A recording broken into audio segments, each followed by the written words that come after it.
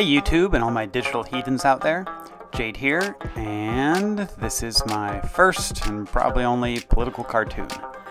So right here was my original sketch idea, which was going to be Hillary and Donald Trump fighting like they're Godzilla and Mega Godzilla, but I didn't like the way it was turning out, so I redrew it.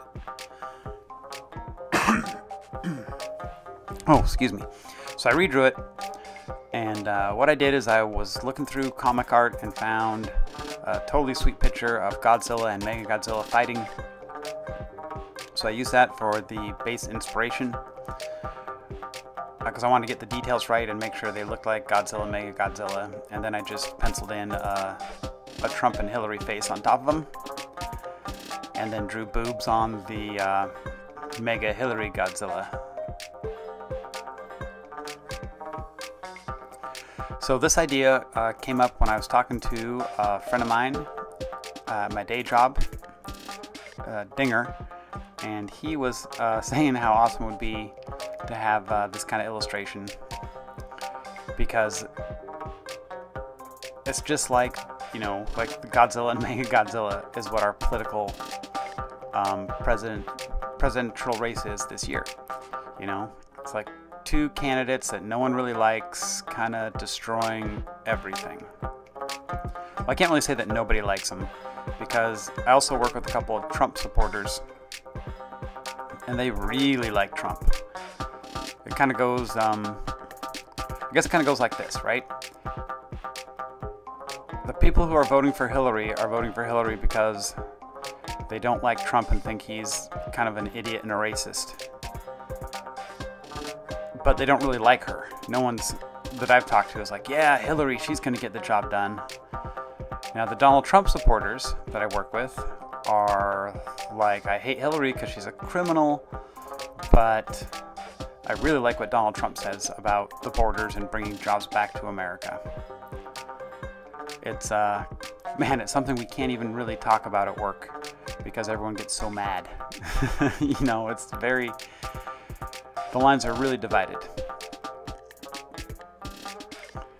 But it's uh, it's interesting to see who's going to win. Now, so far, the poll is at work is about 40 50. 40% think that Trump's going to win, and well, 50, 40 60. And 60% think that uh, Hillary's going to win if she doesn't get indicted. That's what they all say. Well, she's going to go to jail, so, you know, maybe Bernie will run for the Democrats. There's a lot of hope for that. A lot of uh, Bernie supporters.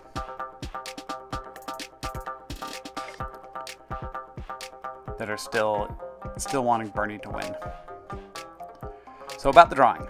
Uh, what I did is I sketched this out with a number two pencil on, Bristol, on Bristol board and then uh, did the fine line work with my new Japanese, I think these are Tombows, and they are kind of like uh, brush pens. These are hard nib brush pens, and they're really cool. I'm going to be getting some more of those. Uh, they take forever to get here. I order them on Amazon, and it's like, man, I don't know if they fly them in from Japan or what, but it takes like 15, 15 days for them to show up. or so. All right, that's me ripping open the Pepsi uh, half rack here and getting a Pepsi. My voice gets dry when I, I do these and talk so much. Mm.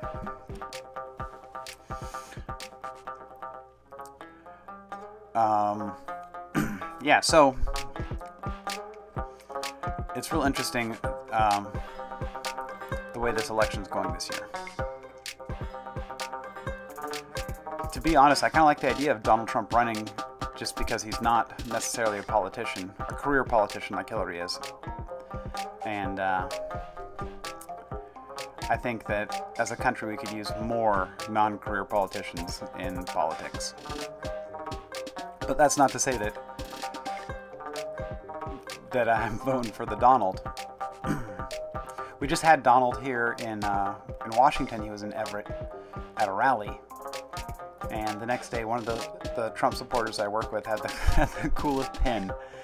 She uh, went and got at the uh, the Trump rally. It was it said vote. I'm voting for Donald, but it was a picture of Donald Duck, and so she's got that sitting at her computer station right now. It's pretty cool.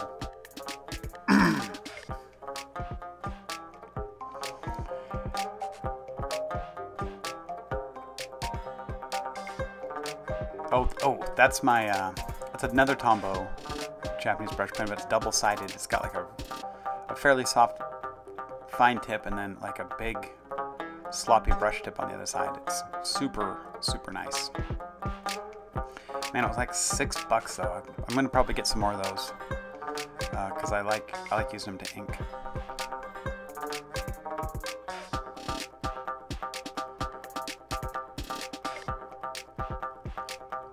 So if anybody has any ideas and they uh, want to see me draw anything more political or political cartoons or our candidates as different kind of creatures, that would be cool. Uh, send me a comment, and I'm sure I will get it done before the uh, the election day.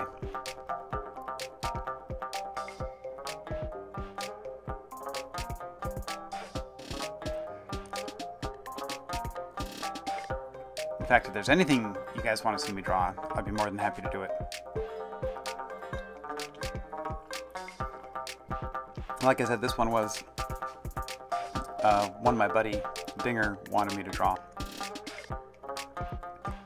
And man, we were, we were talking about the idea. It was so funny. It was where, you know, uh, thinking how appropriate it is to have these two guys as, you know, classic giant monsters. And when I was a kid, I used to love watching the Godzilla movies and the Mega Godzilla movies. You know, or Godzilla versus Mothra, or man, there's just hundreds of them. There was a, a Chinese kid that lived down the street when I lived in uh, Seattle when I was going to grade school, and he was like, uh, his name was Yen, and he was a Godzilla just maniac. So it would always be, you know, on a Saturday, you could always go over to Yen's house. Yen and Wen, he had a sister, and uh, hang out in their basement and watch Godzilla. His parents were from uh, from Hong Kong and did really well, so they had like a really big TV and they were pretty well off. And so we'd go down there and watch uh, watch Godzilla movies once in a while.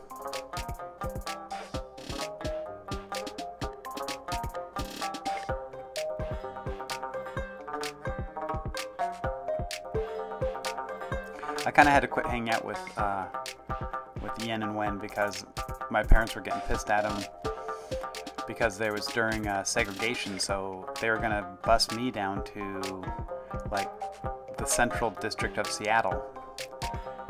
But because uh, Yen and Wen were Asian and not white, they could go to the school that was like two blocks from our house. So my parents put me in private school so I wouldn't get bussed down uh, for segregation. But that was kind of a bummer because I really did like watching the Godzilla movies with those guys. right here I'm trying to lay in like thicker black texture for uh, the Mega Hillary, you know, to kind of get like a metal effect. I was doing this pretty quick because um, I didn't want to spend like, you know, a ton of time on this illustration. I just wanted to kind of get the uh, iconic visual style down. And I think I did a pretty good job on that. That's using like the thicker brush on that Tombow, which worked out real nice.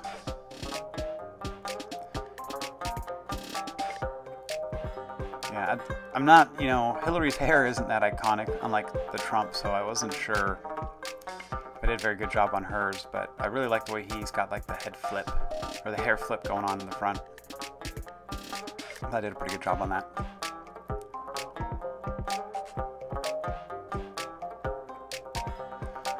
And I switched up to my other Japanese pens, so I really like the Japanese pens. I don't know what it is with uh, Japan and their pen technology, but man, they make really nice pens.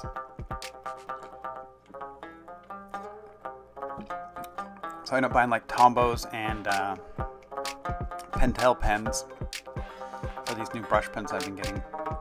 I'm kind of trying to get used to them because Inktober's coming up in a month and I want to uh, want to participate in that, so I want to try to use these other pens.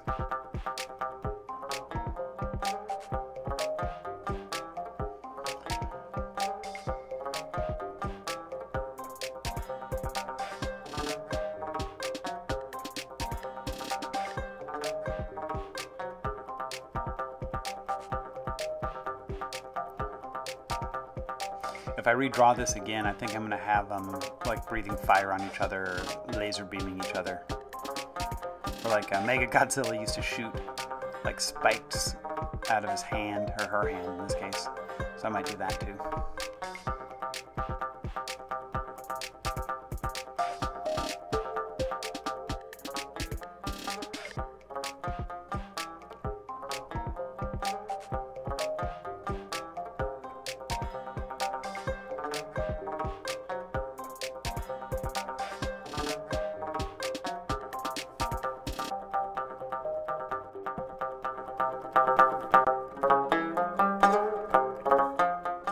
I'm doing some of the details. I want to make them look a little more sinister, so I had to work on their faces a little bit. I'm picking up those lines. Originally, I wasn't going to color this. I was just going to do it all in black and white. But I thought I needed to add some color because uh, it wasn't really separating very well the two the two bodies. Even though you know the textures are different with uh, the metal looking really black black lines and then his his scales.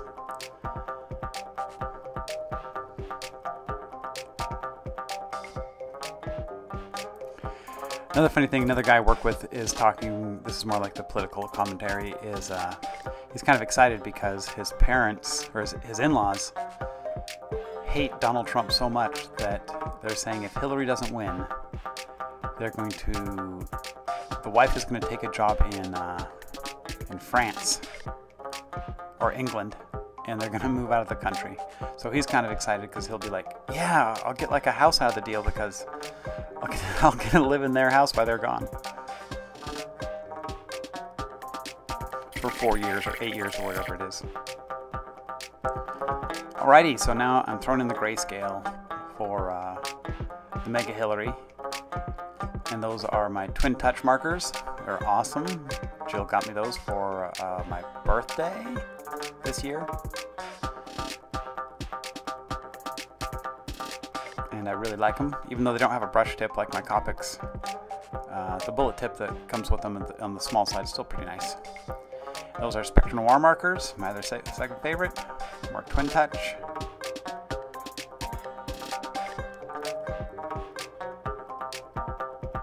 I like to get some more twin touch and then just do maybe some illustrations where I only use one kind of marker.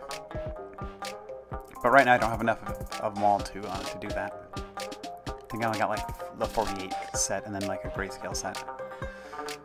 Ooh, and then I was also, oh, like getting Donald's hair color right.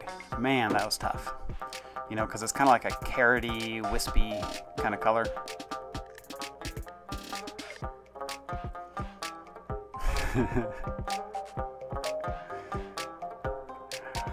also like how their heads are like human human colored and then like the bodies aren't. It's almost like uh, you know like there's some kind of uh, Tremere type creature where their heads are just chopped off and thrown on the uh, the monster bodies.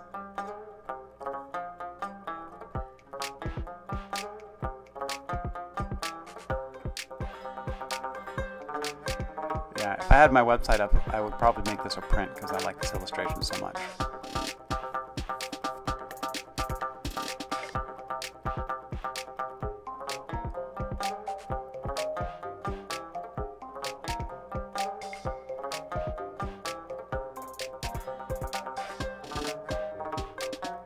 And that big area in the background I thought was too blank, so I just started throwing like a cityscape.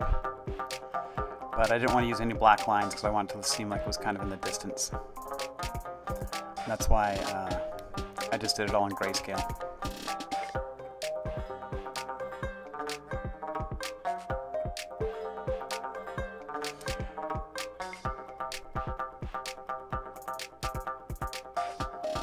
So anyways, there it is. Um, thanks for watching. Please like, comment, and subscribe. Peace out. Until next time.